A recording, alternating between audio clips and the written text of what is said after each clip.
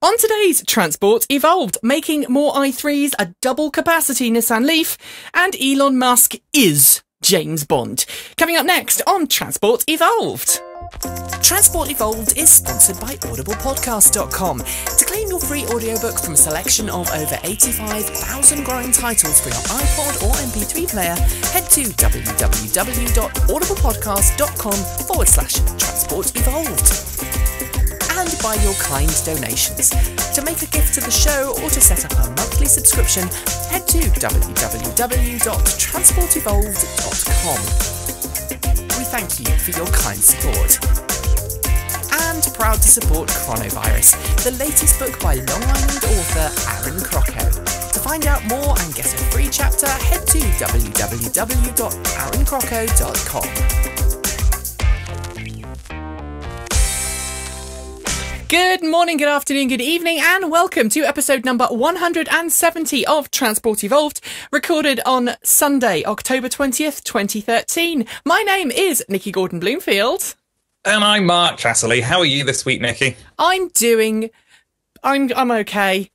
Excellent. Those, just just okay or, or brilliant? Those of you who uh, follow me on Twitter, I am at a minor journey on Twitter, will know that I've been a little bit up and down this week personally in my personal life. That is nothing to do with anything really, other than just having adopted kids and, and coming to terms with the fact that sometimes some of the trauma they have to deal with, they pass on to you, and it's called secondary trauma. And sometimes it's okay, and sometimes it's absolutely horrible, and sometimes you just you want to take take it all away. But I am happy today because guess what, Mark? Wow. This is an Amazon Kindle. Okay. Um, I broke it about six weeks ago. You did. I remember you phoning me up. I broke it. Uh, but this is an Amazon Kindle, and this is called Leaf Link. Uh, sorry, Leaf Link, Leaf Spy, uh, which is the pro version of Leaf Spy. I've now rooted my Amazon Kindle. I've got it running uh, an Amazon, uh, a, a, modded um, Amazon ROM, which means I can now run the uh, Leaf Spy Pro on my Kindle Fire HD um, and it means I can track my car's GIDs for those of you who are Leaf drivers. I can track um, how many miles I've got till very low battery warning, temperature of my batteries, and I can even change when the doors lock and unlock. It's really cool, Mark. That is very funky. And and I will. I've been playing with it all afternoon. So there we go. Uh, if you if you do not uh, know what this this wonderful app is, please go to the Amazon Marketplace. If you have an Amazon device and you have uh, a Leaf, I think it'd be very valuable to you. Leaf Spy, a little plug there for the guys who developed that. So, uh, Mark, how about you?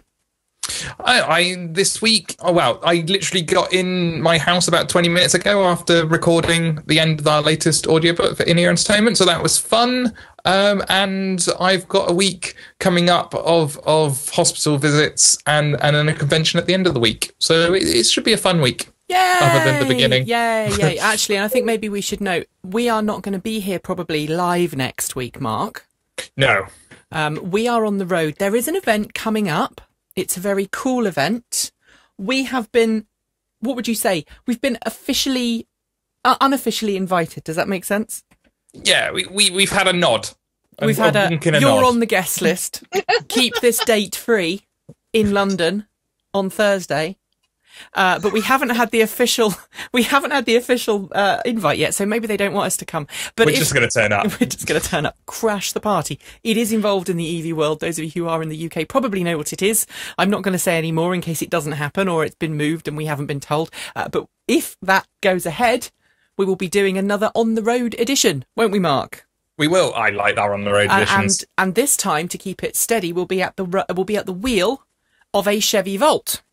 Well, you'll be at the wheel. Oh, gee, uh, yeah. so our guests today right are at the wheel of a Chevy Volt. Right Indeed. Uh, welcome to the show, uh, Brad Horton and Deb Seymour in the same place. Look.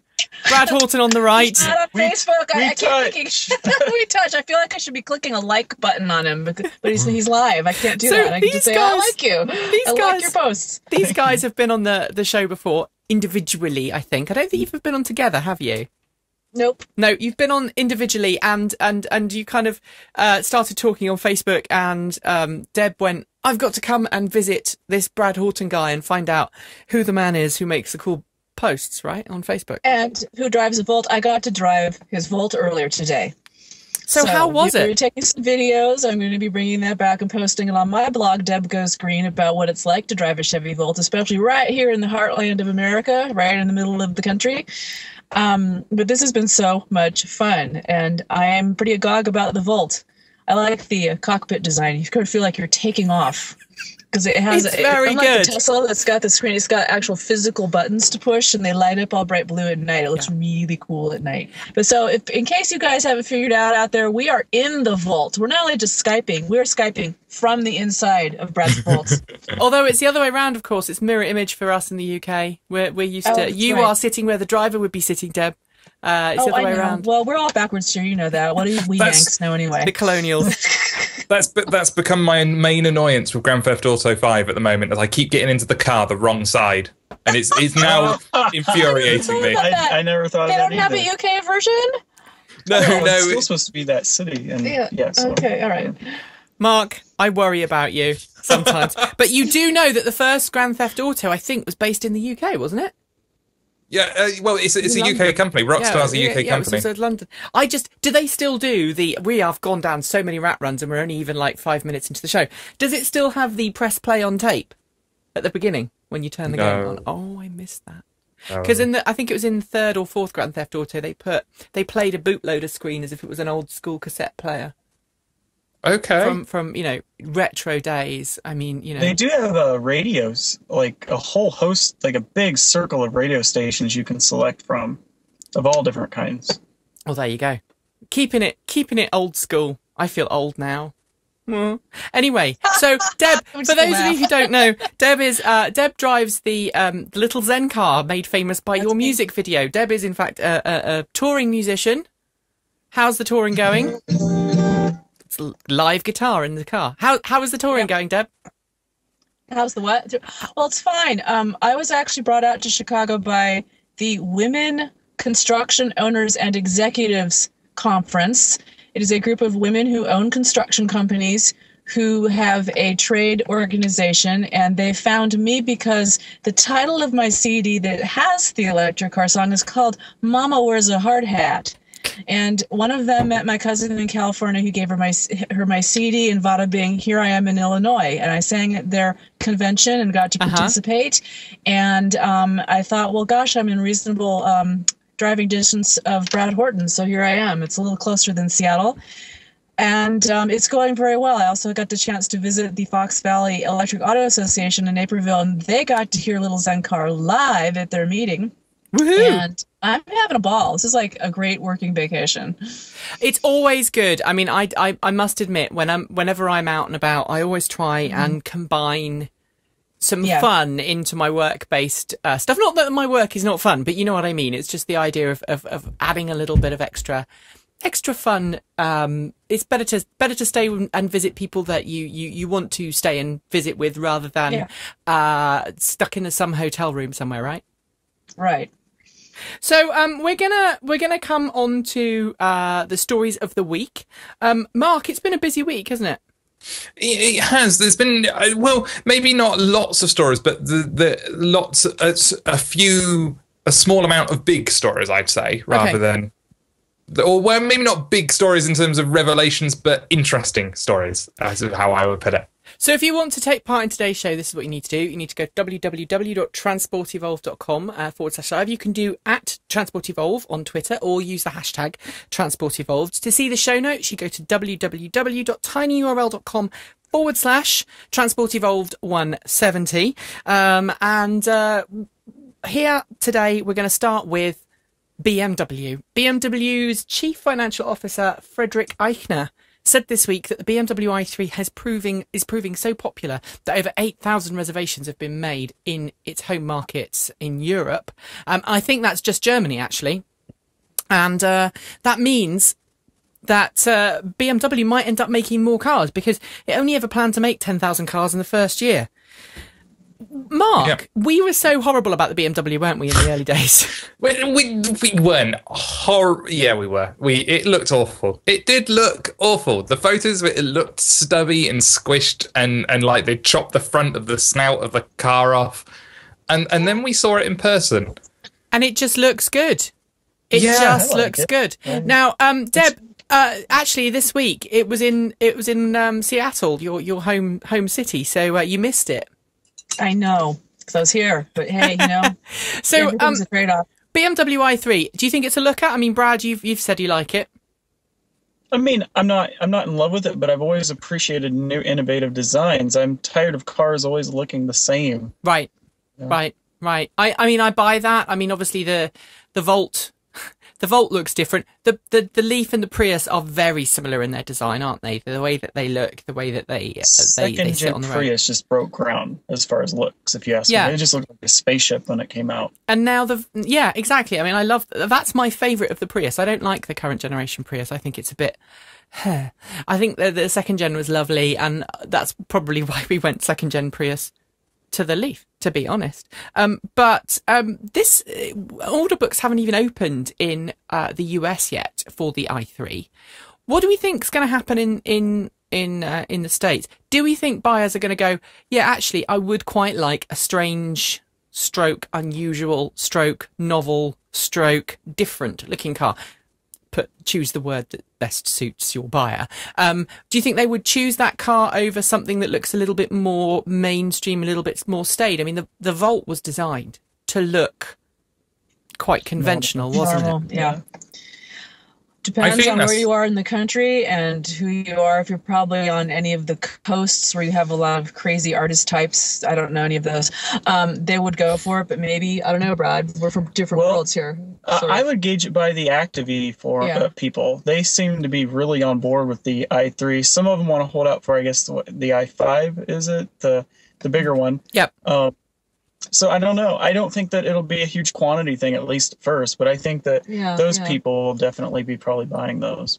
Mark, then again, how cars look Oh. are so subjective. Most people look at my Zen and go, "Oh, that is the cutest little car." But then I was in a restaurant once eating breakfast, and I heard some guy in a loud voice going, "Oh my gosh, what is that ugly, ugly car?" And he said it the whole breakfast, you know, house.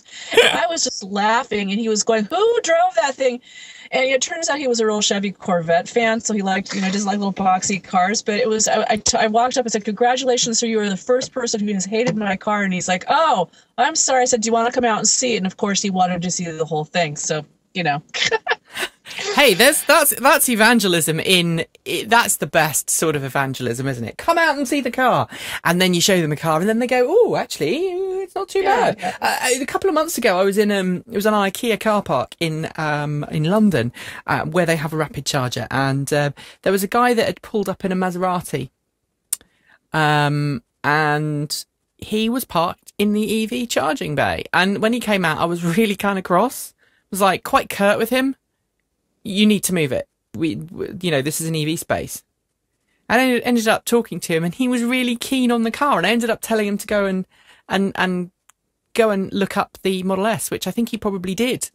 Um, because a couple of weeks later, I'm sure I, I picked him up as a Twitter follower. Somebody, you know, recognize I recognised the face, and I'm thinking I was rude to this well, man a couple he of weeks would ago. not get away with that anymore in the state of Washington because we recently passed, and um, the Seattle Electric Vehicle Association was part of the group lobbying for this. It's the de-icing bill, ICE, internal combustion engine. If you now park in Washington State in a EV-only zone, you get fined two hundred and fifty dollars. So that's one of our big accomplishments for this year so far. Yep, we don't have it yet, but I hope we get it soon. Uh, back to the back to the i3. One of the things that's interesting is this this figure BMW said eight thousand reservations. Um, it hasn't said how many of those are for regular cars and how many. Uh, what I when I say regular, I mean plug-in, no petrol. I should probably ca- categorize that. Diesel, And how many are for the yeah. weird Rex one, the range extending? We we've talked about this at great length before, and I don't see a point in the range extended version of the i3 because it's got DC rapid charging built in, and at that point you kind of go, well, at that at that point you're going to be able to make most of the trips somewhere, you know, without is- having to worry about it. it, the DC rapid charging is an optional extra, I believe, and and at the moment it's a standard that hasn't been rolled out in the UK, and I don't think has been rolled out in the US yet. No, uh, we're still because. The, So- the trips I've made. Oh, sorry. Go ahead. No, no, I, I was just saying. So, so I, from that point of view, I, it, it's like they've gone back three years So in, instead of going with a standard that's already got a network rolled out, where someone walking into the showroom would, would go, showroom would go, well, I don't need to have the engine in there as well because I already know there's this network. They're essentially starting from scratch again by adopting a new standard, even if that is the agreed standard. It's they've they've gone back three years in Mm. in EV world. Um, there are there are some combo DC stations popping up. I think there's a couple now on the west coast, but but that's about it. It's a bit like the CHAdeMO ones were in the early days. Yeah. Because well, right now everything on the west coast on the um, interstate is um, is the CHAdeMO standard. There are a couple I'd forgotten about that. Um, I'm sort of fascinated that Tesla, who's been very proprietary, I love Teslas, love them, but they've had their whole ho- own Tesla charging network. But they've now come out with an adapter you can buy. Yep. I don't even want to know how much it costs, but they're finally sort of recognizing that you know there's a lot of Yep. Teslas on the west coast, and uh, that maybe they would like to be able to charge into some of the public DC charging stations. It's The, gonna be um, it's gonna be very interesting. that. Any Tesla owners from my neck of the woods are tuning in, maybe you can type in to Nikki and tell her. well, it's uh, a thousand a thousand dollars, I think, for that Yeah, adapter. it is. we covered it in the Oh, show. We covered that in the show last Like week, actually. rent. But you know, it's it's it's it is you know it's going to be interesting to see what happens when the when the i3 b- order books open in Yeah. the US uh, next month. All right, moving Right. on. Seattle, um, 2013 auto show has just been called the EV lovers paradise. Deb, this is this must be a bit of a bit of a celebration for for Seattle, right? Yes, my water. I'm drinking my water. My early morning. Water. So um, the they there were seven plug-in cars in attendance. Um, Tesla Model S, Ford Focus Electric, and Ford C Max Energy. Obviously, they're already on the market, but there were also um, sort of Pacific Northwest debuts of the i3 and Cadillac ELR, um, and a couple of other vehicles as well. Now, we haven't had an auto show in the UK, not a big auto show in London for a long time. We have obviously the the Goodwood Festival of Speed, which is about as close as we get, right, Mark?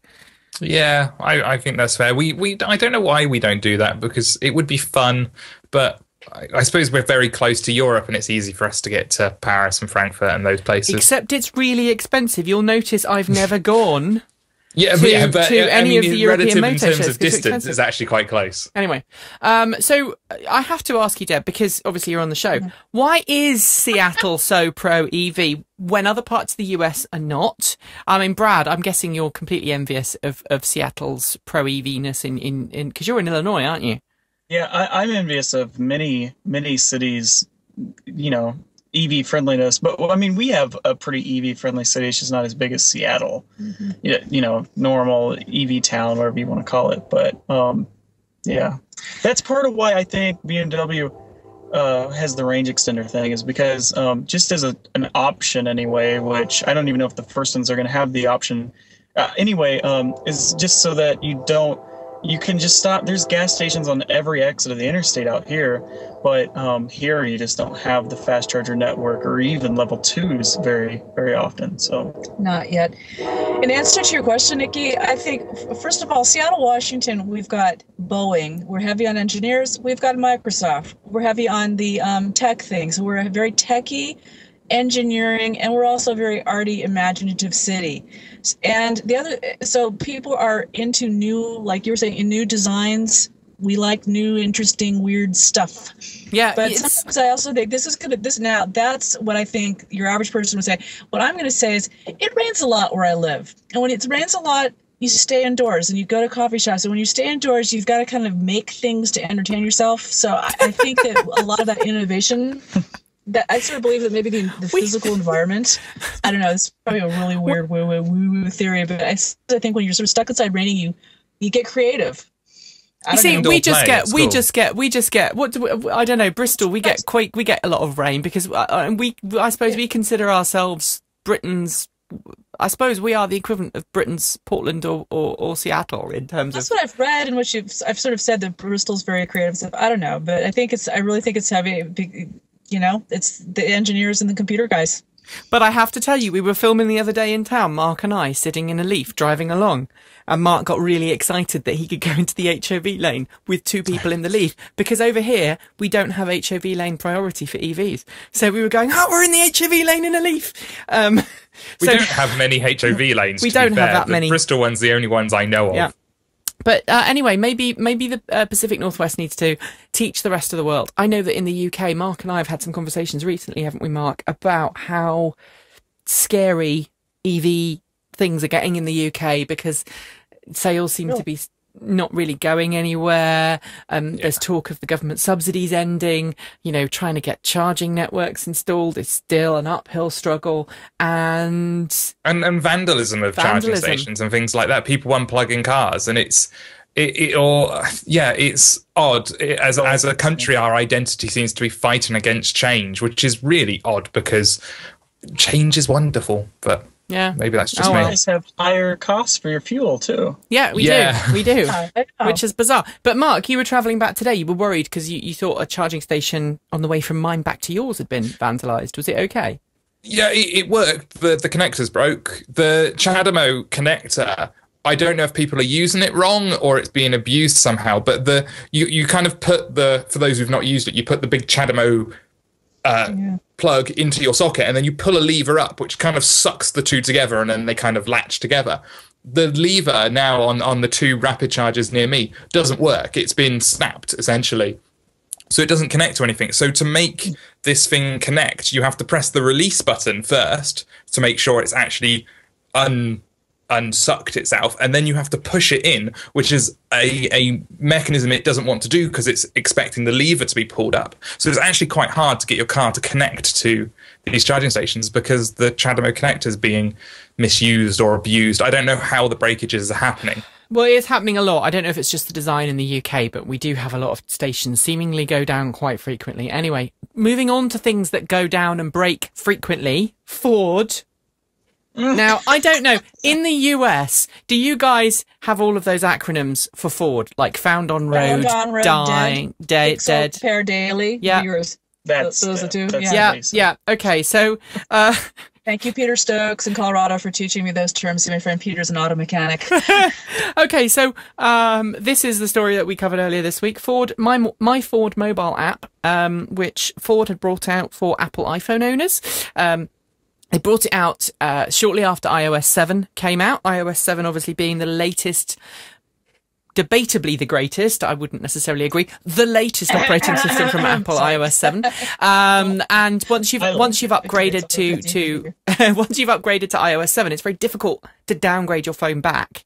Um, although having someone who has just rooted her Kindle and turned it from a brick into a working. I thought I'd broken it. It's taken me six days. Um, maybe you can, but it's not particularly easy to to downgrade it. But this iOS 7 app that Ford's released um, breaks the communications, breaks it. It doesn't work. Basically, it it to use an eBay term, as I think we said in the show on Friday, it powers on and looks good, and then it promptly powers itself off, and the app stops working, and you're back to your your Apple Home screen. home screen. Um, and it's left people without a functioning way of connecting their to their their Ford Focus EVs. Um, and Ford's been kind of very kind of well, we've pulled the app, we're going to work on it. Um, we Yeah. believe it was developed in collaboration with Microsoft, which is And the other did- oopsie. They did say it was um, an an old bug-filled version of the app which wasn't meant to be released. At which point you're like, well, that's fine. Then just release the version that was meant to be released. Uh, uh, but that hasn't appeared, so that seems to have been kind of a excuse rather than anything Well, else. the other thing that, that bugs me is that Ford has the my um my C Max. It's the same basically the same app, but for the C Max hybrid, the C Max Energy. Sorry, that version works just fine, and it's got the same functionality as the Ford Focus app was supposed to have. So you, you have to question why why one Well- of the apps got through and one of them didn't. Why why one was the working you- version? If you update your phone, your old apps work anyway. So I don't know why they don't just roll back the version on the on the market for now and let people download the old app. It just won't be updated for iOS 7 particularly. It'll Right. still work. Well, what what uh, Ford has said is, oh, if you've got a version of iOS, if, if you've got iOS six, keep it. Use the old app. I'm not sure if the old version works with iOS seven. I think that's where part of the problem came. Mark. Oh, I, I don't know I I because I, don't have it on my phone and and details uh, that I was able to discover just say new version of app breaks and I do know there were apps that had to be upgraded to work on iOS 7. So I, I Many about about a third of my um, iPad apps had to be upgraded to optimized for OS 7, optimized. So something. This always happens when they change systems, whether it's Windows or Mac. Well, Well- do you remember me telling you what happened with the Volt and the Windows mobile app? I mean, what happened there originally was they just wouldn't support Windows Mobile, and a lot of people are buying Windows Mobile phones now, and they somebody made an app for it, and he ended up getting a cease and desist letter, and then it took Chevy like a year to come along and make another app, and it was terrible when it when it came out. I don't know what it's up to now, but Well, I mean, Nissan's just- had the same issue, and I think this is why you need to support open vehicle monitoring system, Mark. Yeah, oh, I, I don't. I don't use the official Leaf um, version of the No, app. There's a much nicer version out there, and and yet there's there's a um, uh, open vehicle monitoring system is is just about um, getting some Leaf support now. Yeah, they're- so they're- I'm going to be installing that in my car this week, hopefully. Yeah, there's some there's some beta code out there, and although I mean those who want to take part, the beta code is beta code. It's not. Uh, you know, open vehicle monitoring system is for hobbyists. It's not for people who who, who don't mind tinkering, who don't mind playing with their electronics or their or their software or whatever. It's not necessarily a consumer ready product per se, but it's Well, certainly for some cars Yeah. uh, who've got the, the, the code that's in release state, but yeah, for the Leaf at the moment, it's still in development. Yeah. Um, I've got a couple of people say the app, uh, that Ford app is now back. Apparently, the the, the older version is back. I think. Um, so moving on, Ford executives this week kind of admitted, oh yeah, it's all about hybrids. It's not really about plugins and not really about electrics. And this is the this is the dumb bit. Ford has this strategy, which is we will produce a model of car and then we'll figure out how to put all the different drivetrains in. So the idea being that on the production line, same production line, you produce exactly the same chassis and, and monocoque, and then you just bolt in the drivetrains as required.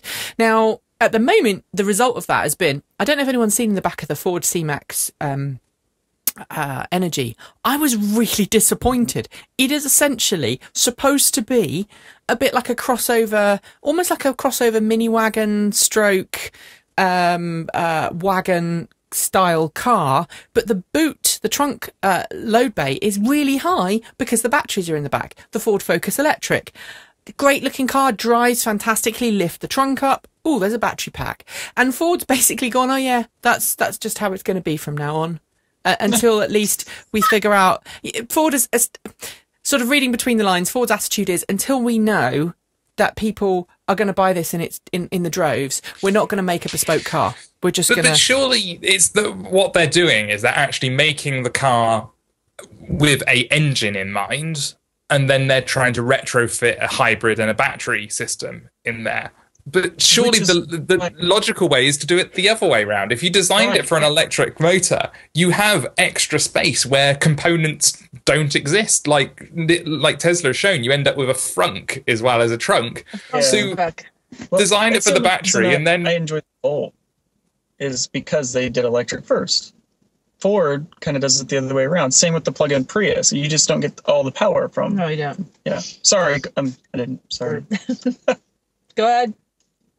No, I, and I, it just makes sense to do it the other way around. I think design it for the battery pack. You end up with lots of free space in the car, and then it's easy to drop a petrol engine into that or a diesel engine into that using the space, rather than doing it the other way around and, and sticking batteries in the boot, which throws out your suspension, your weight equalization. It, it's silly. Uh, by the way, I just want to this before we go to our ad break. This is not in the show notes, but I'm just going to point this out. This is Grant Thomas, who's been on the show before. He's based down in Southampton in the UK. Um, down on the on the south coast today, they've had an EVSE build day, um, basically building a portable charging unit for your electric car. And this one is uh, fantastic. You'll see it here. It's got a 32 amp blue commando socket, uh, a little box of tricks, and then the other end you've got your your J1772 cable. And this means that you can plug in at any uh, 32 amp, 240 volt outlet. Brilliant. This is this is ultimately, you know, we've got and this juxtaposi- uh, this, the juxtaposition of this versus what Ford is saying is is com- is so clear. Ford is going, oh, it's really difficult. And if we want to do it, we're gonna have to build an old car. And we have to di- design it from scratch. And we're not well. It's the and, Yeah, and, and- you know the DIY community is coming along and going, uh, Hello. so all the, all the manufacturers selling those 10 amp, two, 240 volt 10 amp uh, cables with a big brick on them for 800 pounds or 400 pounds or 700 pounds or whatever they are. They, the price range is huge. And then people, hobbyists, are coming along and doing this with a 32 amp connector. And, is- is and awesome. much cheaper. Uh, And let's cheaper. let's go to an ad break, Mr. Aaron Crocco. It was supposed to be just another cargo run, but for Ken Mallory and the three person crew of the Raven, an anomaly in deep space changes everything. An unexpected turbulence shakes the small ship like never before, allowing a deadly virus aboard. One by one, the infected crew is thrown back in time to relive a near death experience, only this time, death may be closer than they remember. My short story Chronovirus is available for Amazon Kindle, Barnes & Noble Nook, Kobo, iBooks, Sony, and for all other devices and e-readers through Smashwords. Learn more about Chronovirus by visiting my website at www.aaroncrocco.com. Ooh, very, very good book. If you haven't read it, go and read it now. It's about an hour long. You can listen to it in the when you're driving the car. And the ending. Oh, the ending. Oh. Um, I, I also have to say that last week's Audible pick of the week, um, uh, sorry, the previous week's Audible book of book of the week, which was um, uh, um, um, what was it called? It was Bedlam. I'm nearly finished with that, and it's a great book as well. So you should get that as well. Audible's coming up in a bit though, so I'm not going to confuse it. Right, sales figures around Europe for the Tesla Model S during the month of September was about a thousand cars. Nissan Leaf across Europe in September, same month, 1,175. Wow. What do we say As a- to that? It's it's that's phenomenal. Does this does this mean that Europeans have to have a high spec, long range luxury car before they'll consider dumping diesel? Because diesel over here, we've got fifty percent market share of diesel engines. Diesel is is is uh, gives people the, the higher um, gas mileage. We know that diesel is not clean, but diesel is sold as being clean over here. Everyone goes, yeah, diesel, clean diesel, yeah, it's better than petrol.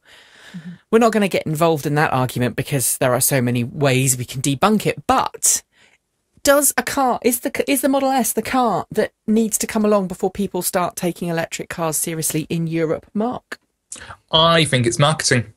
I seriously do. Uh, everyone knows who Tesla is. I can speak to anyone on my street and they know who Tesla is. They know they may not they may not know that the Model S exists, but they know Tesla as a company makes electric cars. They go much further than anyone else who makes electric cars.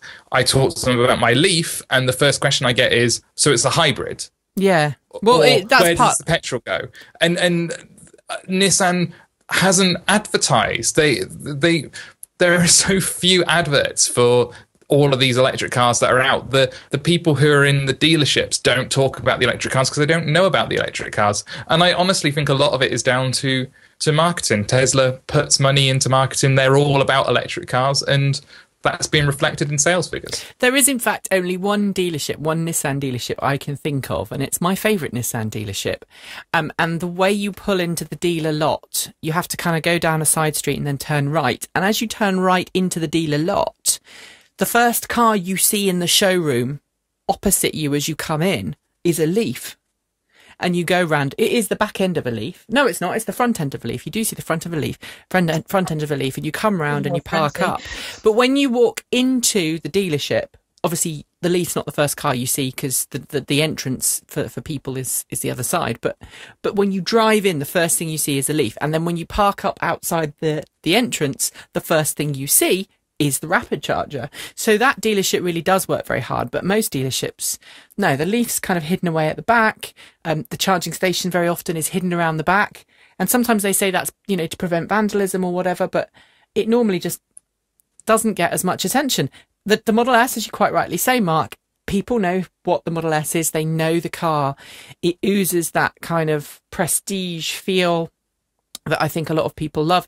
Obviously, the other thing is those tax incentives in Norway um, do make Yeah. it such a decent buy. I mean, we talked about this last week. Norway and the Netherlands. People are buying cars secondhand. People are selling on. They've, they've gone on the waiting list. They put their name down. They then sell the car for seven, eight, nine thousand uh, profit.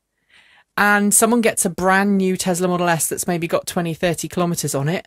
The other person gets a seven or eight thousand or nine thousand um, euro or dollar uh, investment reward, uh, return on their investment. So I think that the challenge though, and I think the thing we should caveat here, the Leaf has been on sale in Europe now for nearly two years. The Model S has only just gone on sale. Uh-huh. Mark? But yes, there is that. But the model, the Leaf has had a model revision, has had updates, and uh, yeah, the Model S is a new car. But also there are, I suppose, there's competition at any level. Uh, yeah. Deb, what do you think? Um, I'm still dry testing your numbers. See, and I'm coming from a part of the world up in the Pacific Northwest where um, East Side Nissan in Bellevue, Washington, which is across the lake from Seattle, is the largest Nissan Leaf dealership in the country, which even kind of has them going, wow, you know, here we are in Little Bellevue, Washington. Well, Bellevue's not that little anymore, but uh, the people are coming from different states to get that. And it's funny to hear from my perspective that there's so few Leaf advertisements because we've got Leaf advertisements all over the place where I live. I mean, they're on the billboards, they're in the magazines, or even in the papers. So maybe Nissan is just targeting the West Coast because we're closer to Japan. I don't know. Um, and I mean, you can't drive five blocks in Seattle anymore without seeing at least one leaf. And it just keeps getting to be more and more.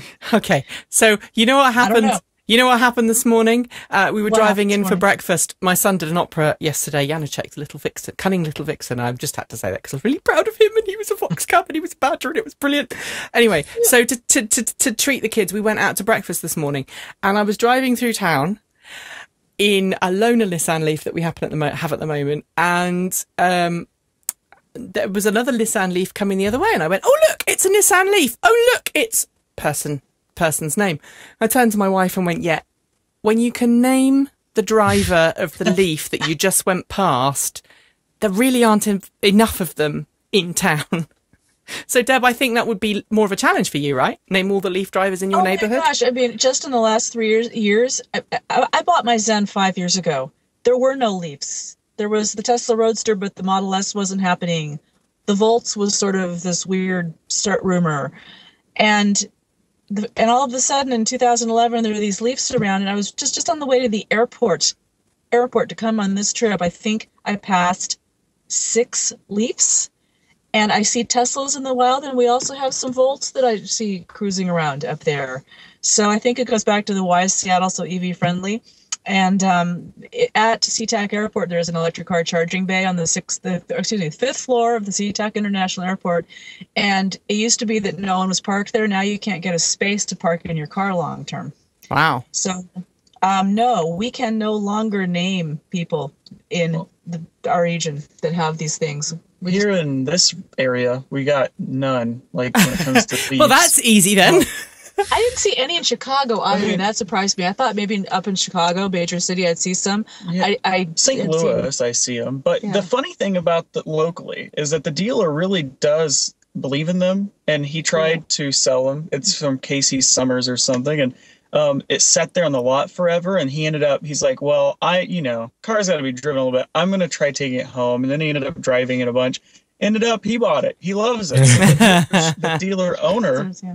Is the one guy around here who has the Leaf. So Well, one thing that we've talked a lot about the Seattle Electric Vehicle Association is a lot of dealers they are reluctant to sell electric cars because it, you're going to have to bring new training and new staff on board who understand these things, and then you're going to sell this car that doesn't need any service, so they're not going to make service make any money off the service that you normally do on a, a, a gas petrol car. So a lot of dealers are really resistant because they have people that come into their stores, whether it's the Chevy place or the Nissan place, and people are like, "Oh, I really want a Volt, but it's a little too expensive. Sell me your Chevy Cruze or whatever it is." And um, there is some pushback on the dealers, and I think, of course, you know how many dealers have been um, trying to lobby to not allow Tesla to sell their car directly Right, because it's right. very, very threatening. And really quickly, I just want to tell And you, not all dealers, though, but you know, I like your totally flipped one day because I You saw another like- Volt, and I was like, "Oh my god, another Volt, another Volt!" And then all of a sudden, I'm like, "Oh wait, that's just my dad." Um, but I saw one Chevy Volt on my way down here.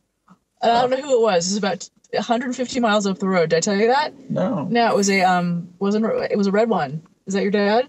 well, yeah, but he wouldn't be up there. No, so. he, wou- he wouldn't be up in wherever that was town that I couldn't spell. Yeah, it var- out here it varies greatly. Like Yeah. 50 miles is all the difference. So I That was is- that a little brilliant. surprised in the dense city of Chicago being a major metropolitan cosmopolitan. I thought I'd see a few electric cars around, and I saw none. Lots Huh. of hybrids, all No. the taxi cabs, but um, so I'm just kind of quietly curious about that myself.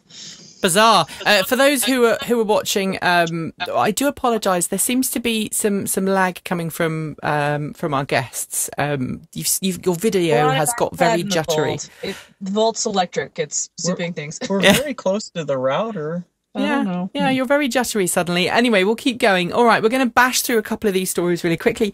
Uh, Fisker gets sold to a Hong Kong tycoon investor group. Um, basically means that the Fisker loan got sold. Um, so uh, Fisker can now kind of try to get its feet back on the ground. And Bob I Lutz, bought one. sorry, I bought a Fisker. I'll try. woo!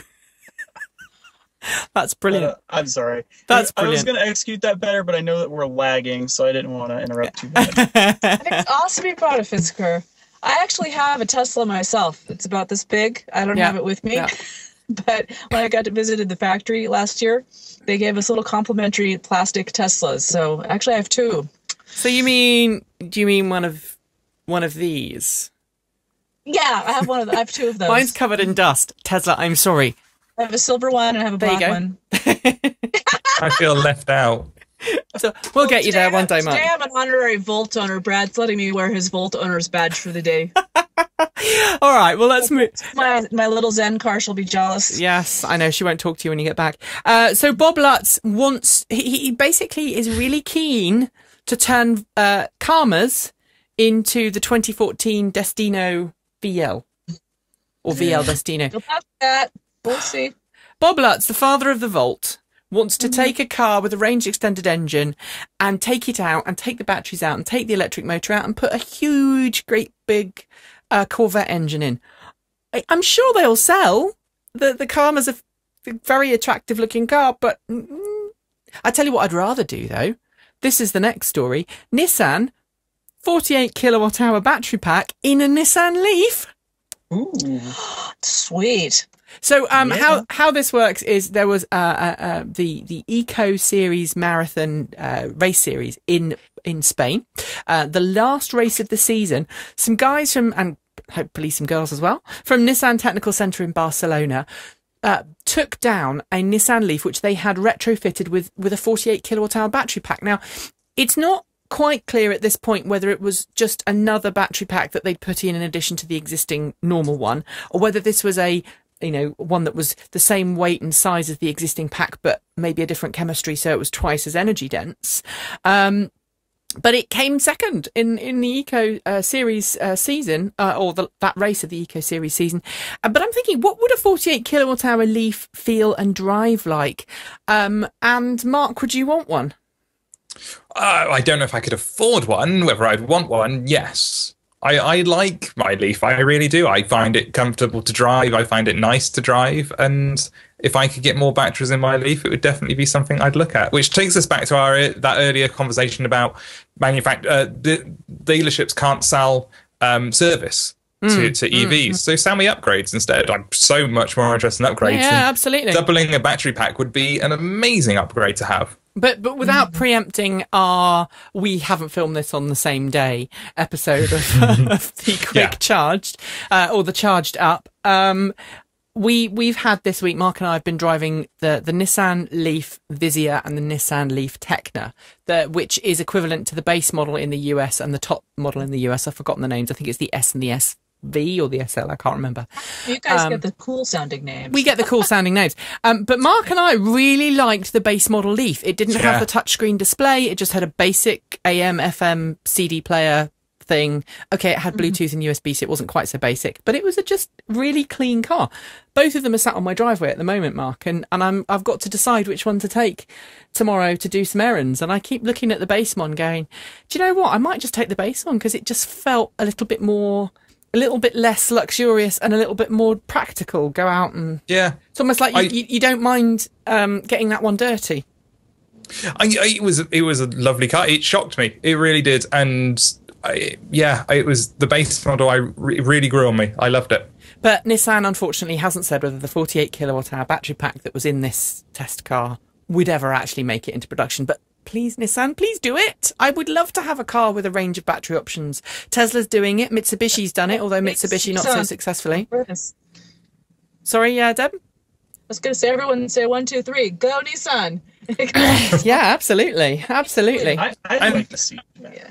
Yeah. especially because the boot in the Leaf is huge anyway. I, I'm quite willing to sacrifice some of the boot space for more batteries. Uh, I would only do it if the ride and, and handling was not affected, and that would be my biggest concern. All right. After coming, after coming, after confirming the Soul EV will head to the US and Europe um, last week. Sorry, I've got contact lenses and I can't read so clearly when I've got my contact lenses. I can't read my show notes. Um, the uh, the uh, someone in uh, Kia UK admitted this week that the Soul EV will be a car which is not priced to drive demand, i.e., it won't be a competitively priced car. It won't be a car that's priced to make people go, "Yes, I'm going to buy an electric." Kia Soul. It's more a case of yes, we're going to make it, and it will probably be expensive as heck. And yes, it's going to be a limited market car, and yeah, you don't want to ask how much it's going to cost. And can you say compliance car? Are compliance cars really useful? Um, I did a post recently saying they are. They are quite useful, and I th- I stand by that. I think compliance cars help drive the market. If I've got money and I want to choose between a compliance car and a non-compliance car, I'll buy the non-compliance car. But I think compliance cars give your average non-electric car fan a, a good choice of market vehicles of, of vehicles to buy. They also help make the those who are really keen and interested in selling EVs offer more features, make the specs better, make it bigger battery pack, make it go further. Um, so, what, what do you think, uh, Brad and um, and Deb? What do you think?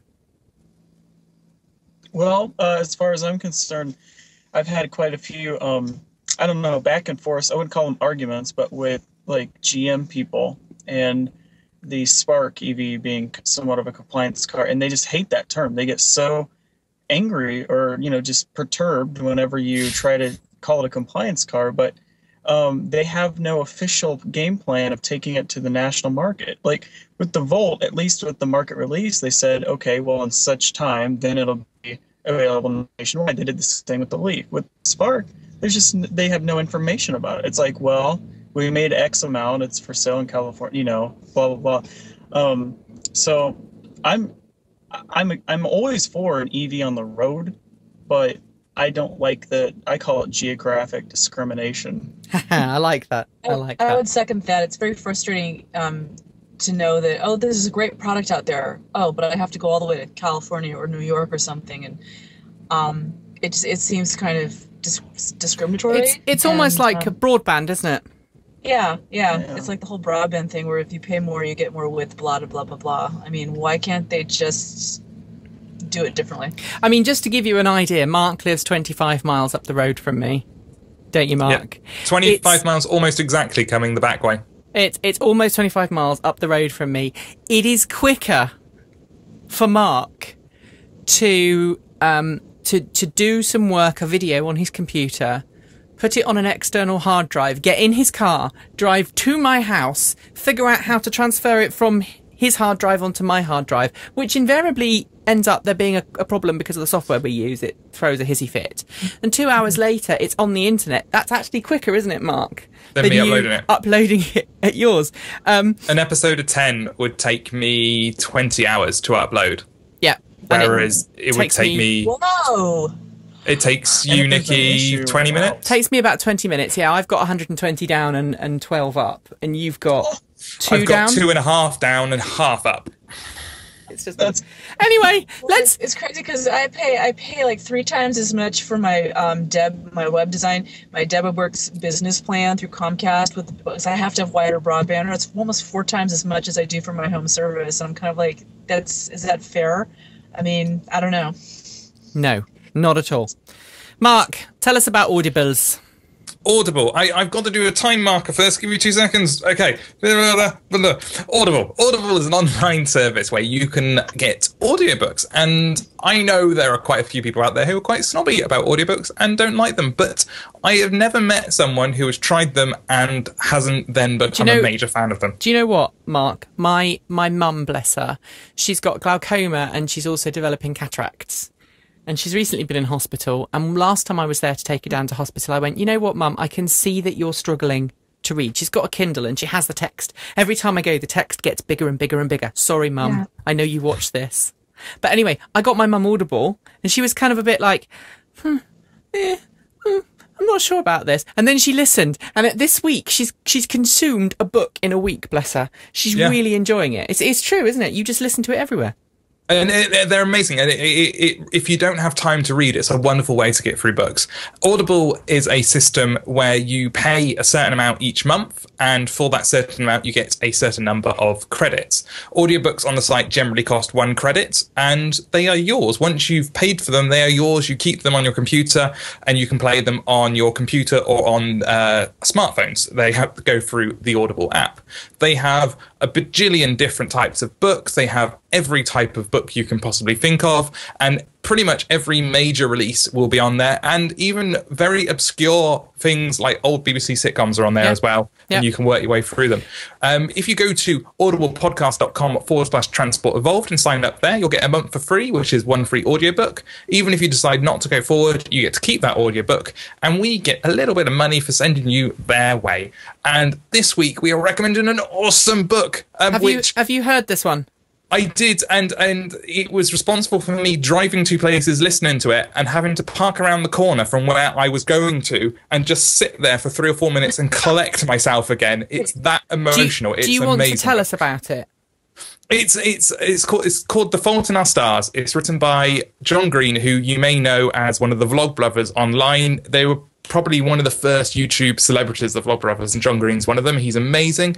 Uh, it's narrated by a lovely lady called Kate Rudd, and the book is about young kids, sort of 16, 17, 15 year old kids who have cancer or some sort of terminal illness. And it's based around their support groups and the relationships they form.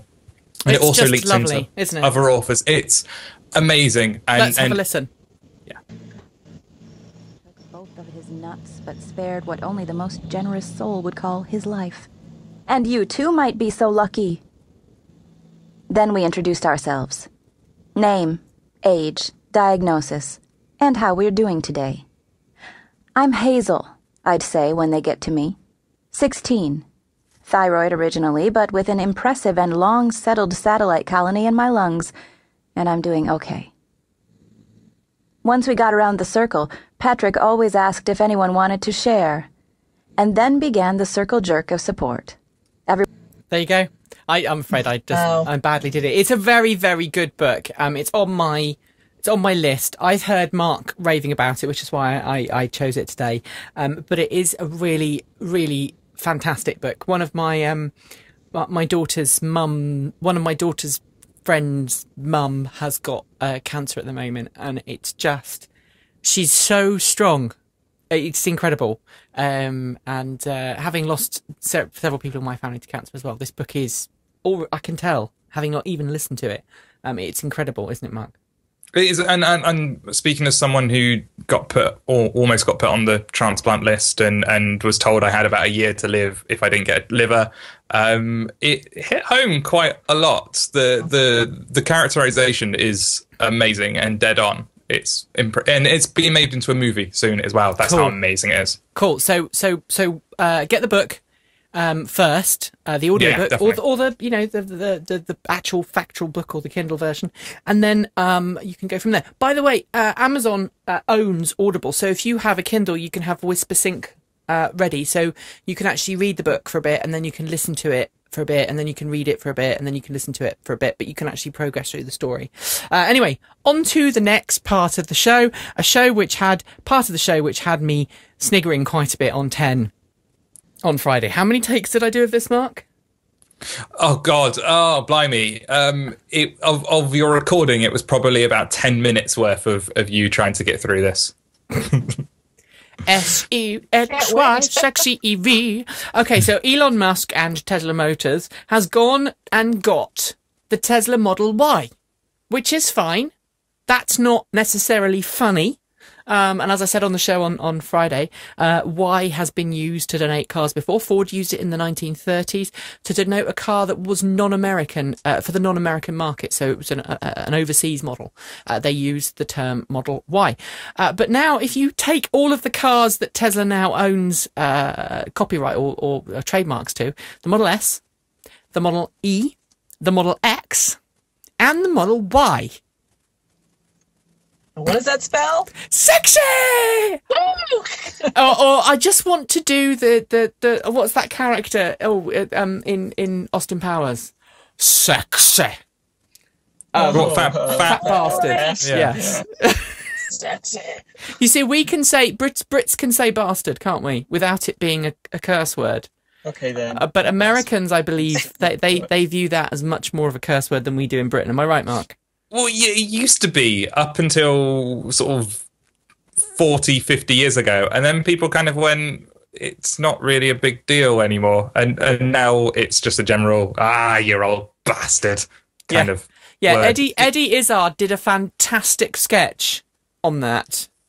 Uh, in I think it was, I want to say it was Circle. I think it was in which he said the way you say it.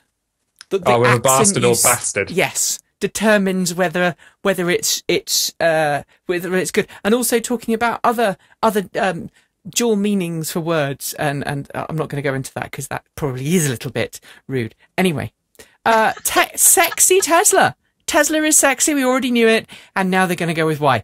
What other letters do we think they are going to trademark next? Um, Deb. I and T, and then you can string them all together and have sexiest.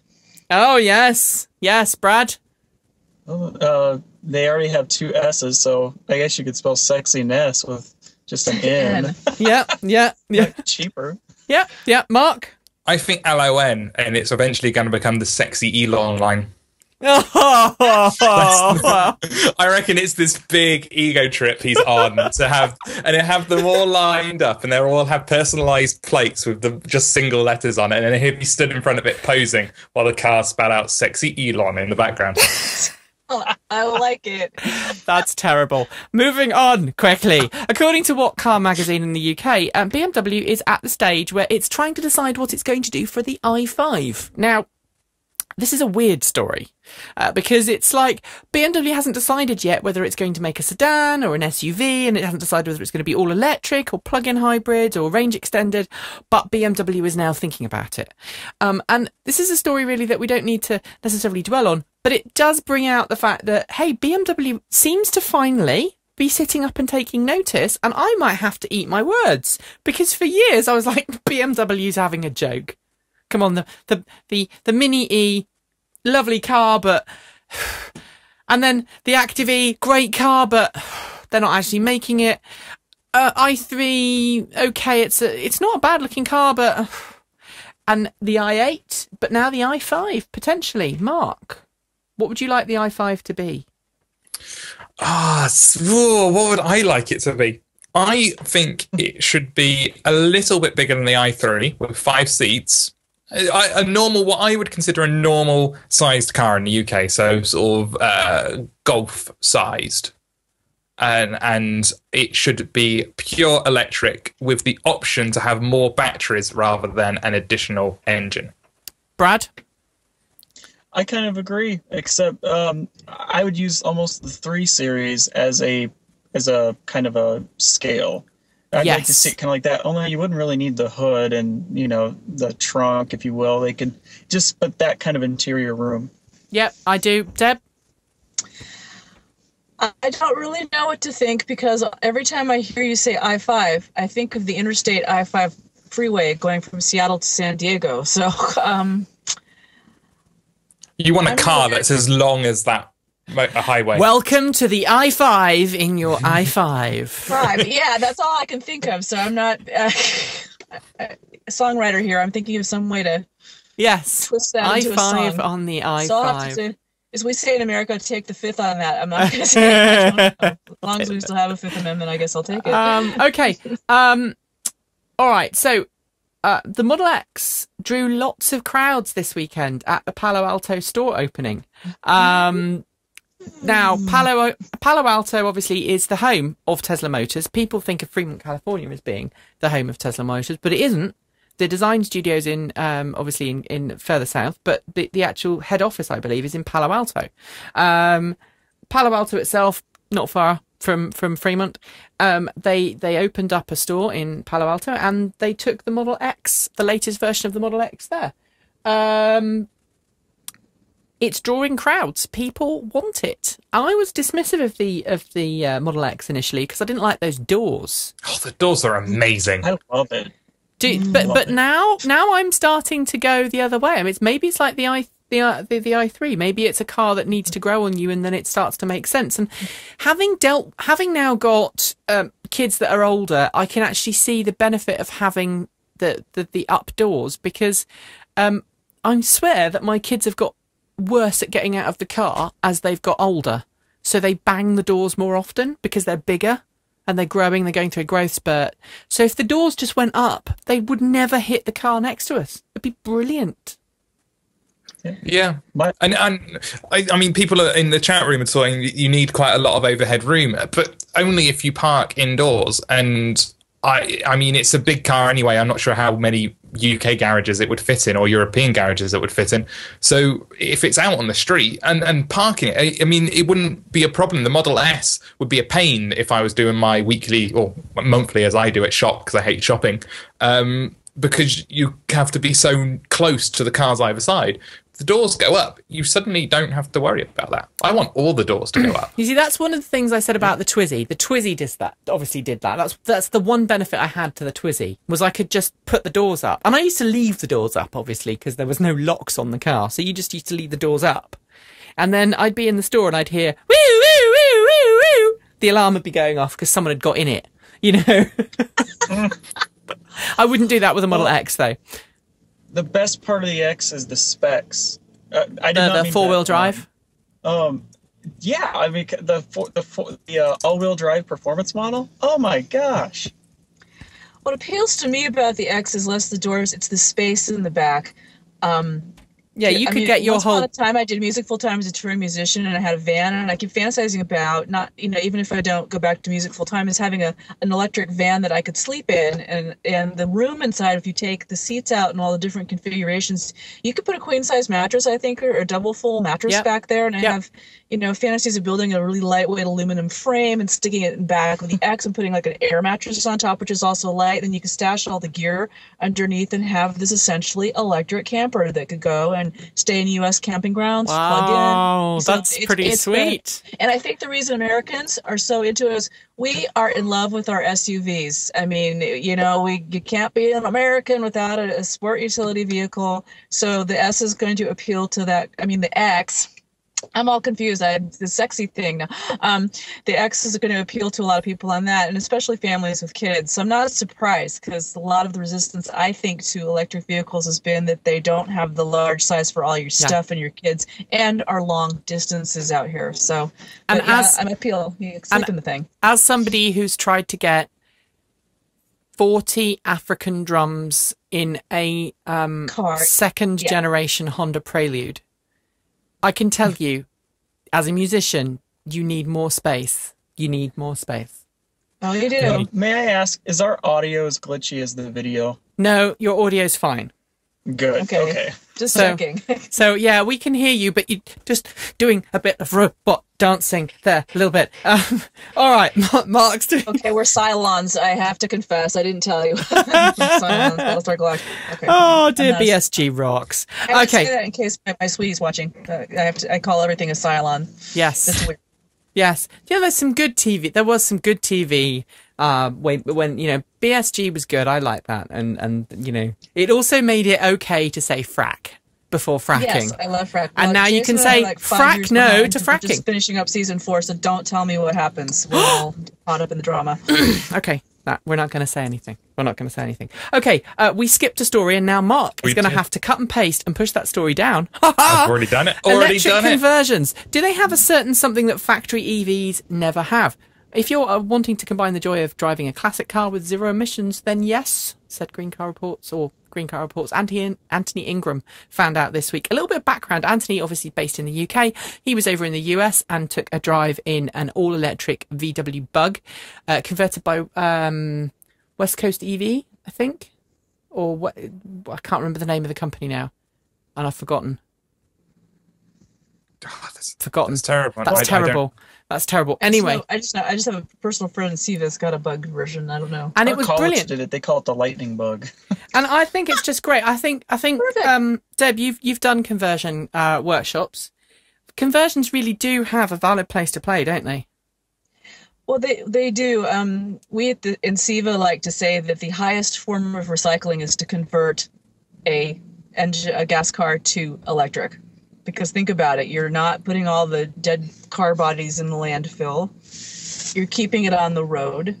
Yep. And um, what a high form of recycling! It's that whole reuse, repair, you Yep. know, reduce, reuse, Yep. repair. So yeah, And it's EV West. Thank you, chat room. I knew I'd got EV it. I West. got it. Thanks, chat room. So it was EV West, who the guys who they were the ones who did the the BMW that went up uh, Pikes Right. Peak earlier this year, um, and that's one of my goals actually this this coming year is to get to Pikes Peak. I want to be there and see the EVs go up. I, I just would love to do it. And before the race, obviously, or afterwards when the road back is back open, I'd like to drive a standard Nissan Leaf up Pikes Peak as well, just to say I've done it. I think it'd be cool. Right, something that I am never ever probably going to do is buy a prop from a film and then convert it into an electric vehicle. Mr. James Bond, I mean, Elon Musk bought James Bond's underwater lo- lotus from, I've forgotten the film that it was in. It was The Spy 1977. who shagged me. no, it me. wasn't. It's the spy who loved me. Are we supposed to sit there and do the Bond was the music? Dun, und- dun. So Spy Who Loved Me sold an auction in London for 90, sorry, 96, $966,560.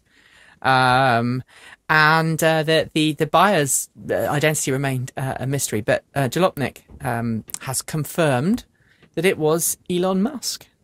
Um, and he wants to install an electric drivetrain in it from a Tesla Model uh, Model S or whatever, and turn, transform it into a road-going car. Well, good for Elon. What fun. This is just awesome. Uh, Mark, does this go with our theory that he has actually got an underground layer underground in the water? I, I think he's got underground layers. He's got volcano layers. I, I think he's he's got a big zeppelin in, in the sky somewhere where he flies up to in his in his grasshopper vertical takeoff and landing thing. He he is. I I think he's gonna have some plan to take over the world at some point. I'm just trying to remember. Um, he is 42 now. Does that sound Oh, about right? shush! Don't say things like that. Oh, I got it right. He's 42, which makes him a Gen Xer. So Oh. he, he was born in 1971. Um, so he would have been six when this film came out. So no wonder this is like a boyhood fantasy for him. Maybe this is his game all along. You know, make lots of money and then buy the James Bond uh, submarine car and then go somewhere and make his little lair. Well, gee, I would if I could. and some of us Gen Xers, I think we're okay. Yeah. you see, I'm not. I'm not actually a Gen Xer. I'm right at the end of Gen X. I am spiritually a Gen X, but I was born in '79, so I'm technically not a Gen X. I missed Well, out by about a year. Which is the end of the greatest generation, and I'm like on the cusp. So I, I consider myself a Gen Xer, though. I am. I'm spiritually a Gen Xer.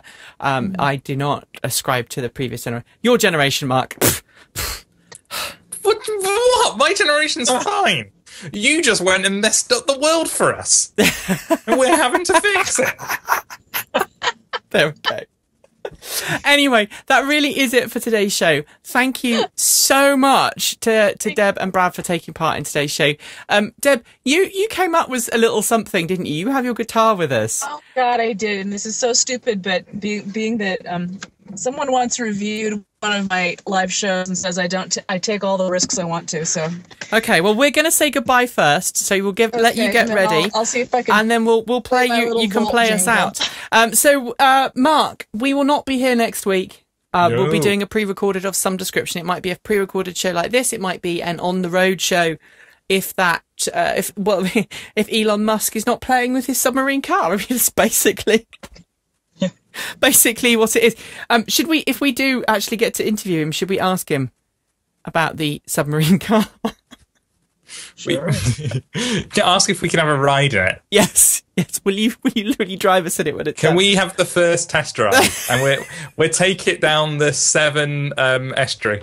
Uh, if we took it down the Severn Estuary, which has the, the second highest tidal level in the world, or is it the third? I can't remember. Um, Second. second, uh, it would probably never come back, and neither would we. I wish to live. I wish to live, Mark. I wish to live. Uh, but in the meantime, um, do come back and tell us um, what you think of the new website at www.transportevolve.com. We are trying to put up stories on a daily basis.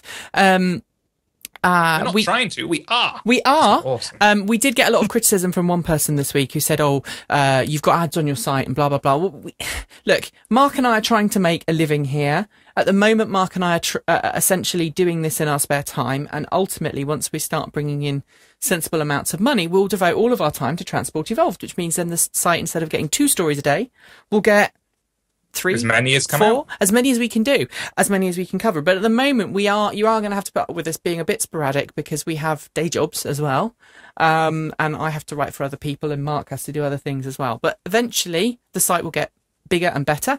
We've got um, a quick charge coming up soon. We've also got our first um, charged Charged up. This week, haven't we, Mark? Coming through down, do. down the pipe, so that's going to be great. And um, so just keep tweeting at us on Twitter, on Facebook, on Google Plus.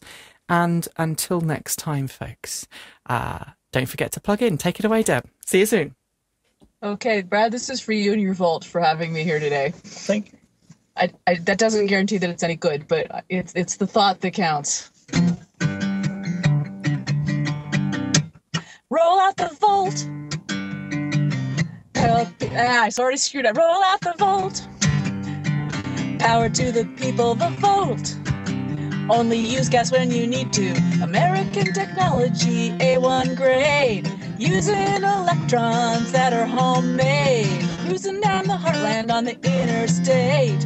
Let your dollars go and vote to roll out the volt. Insert electric guitar here. there you go. Woo! Over my coffee this morning. I either needed more or less. That's not bad considering she had nothing when she got here. Yeah, I know. I was hearing like really, you know, really shred guitar back there. Lots of distortion.